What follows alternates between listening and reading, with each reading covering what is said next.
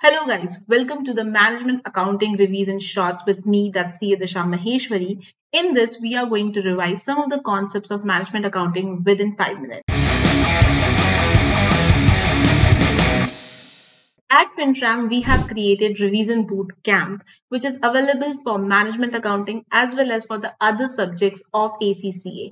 In Revision Boot Camp, we provide revision of a key examinal concept covering various syllabus area. We also provide video question marathon, which is an extensive question practice pool, including past exam question, concept-based questions solved by the faculty, providing all the tips and tricks, and also computer-based exam training and related guidelines. So this is Revision Short, which is a short and free version of Revision Bootcamp. So let's start with the first revision short. So guys, the first concept which we are going to revise is from the chapter labor and the concept is labor turnover. Now, what is labor turnover? The concept is very simple and very easy. As the name suggests, that labor turnover, that means in a year, at what rate your labor force is changing. Okay. Now, normally it's being said that if the labor turnover ratio is high, it's not good for the organization. Why it's not good for the organization? That means your labor force is changing rapidly. Because of that, organization has to face a lot of difficulties because it's a very simple thing that if a skilled labor is going to leave you, then A, you have to hire again someone who is you know, at the same skill level and you have to do entire the recruitment process. Until the time you are not going to hire that person then your you know productivity your efficiency and all of those things will hamper. So that's why it's always being said that labor turnover ratio should be minimum. It cannot be zero because of course some amount of you know labor force will join and some amount of labor force will leave the organization. So it cannot be zero but you need to keep it as minimum as possible. Now Coming to the formula of labor turnover, the formula is very simple.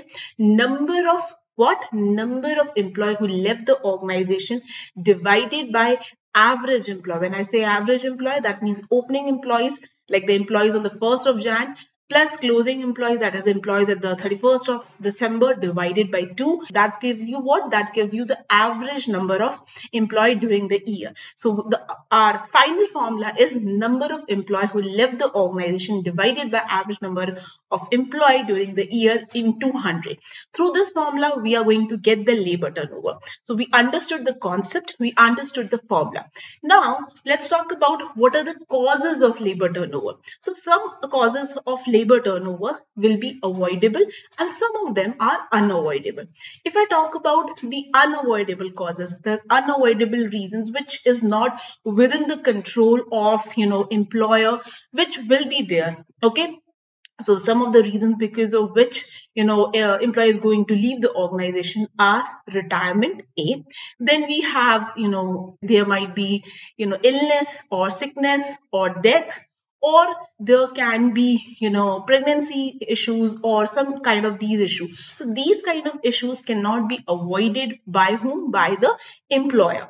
But if i talk about the avoidable like the reasons because of which labor turnover is high and which employer can control are first of all you know if employee is not satisfied with their remuneration then so you know you have to give them remuneration as per the industry standards. So in that way also you can keep the labor turnover low. Lack of promotion aspects. So again, that is one of the reasons. Not good work culture in the organization. That is also one of the issue. So these are the some of the issues because of which we can avoid if we work on these issues if we give them proper remuneration if we give you know give them proper pro uh, promotion aspect if we give them proper training if we if a employee feel good and nice you know working in that particular organization if they have a good work culture so obviously they want to stay in that organization so that is also one of the way by which you can keep your labor turnover minimum so these are some of the reasons avoidable and unavoidable for what? For labor turnover. So that's the concept of what? That's the concept of labor turnover. I will see you in the next revision short.